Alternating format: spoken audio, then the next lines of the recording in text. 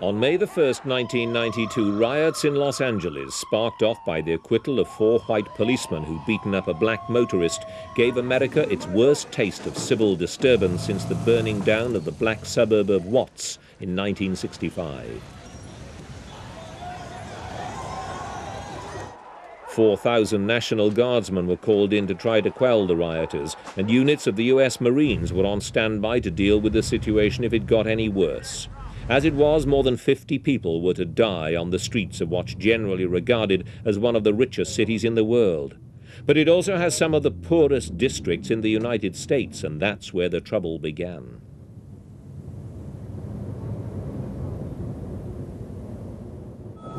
Thousands of people took advantage of the situation to loot shops, factories and stores on a massive scale.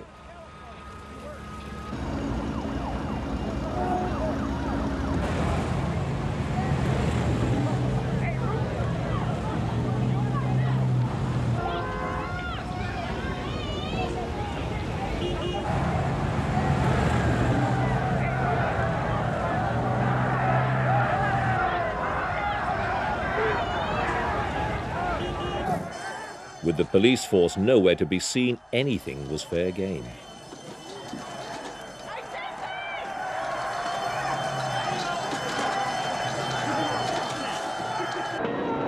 Some shopkeepers took the law into their own hands, firing at looters to protect their premises.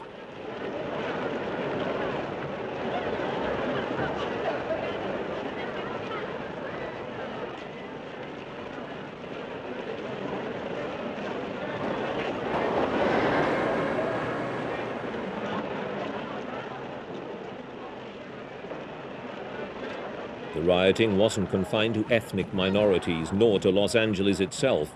Within a week it was all over, but the legacy lived on in government commissions of inquiry, reports, court cases, and some deep soul searching as to how it could have happened at all.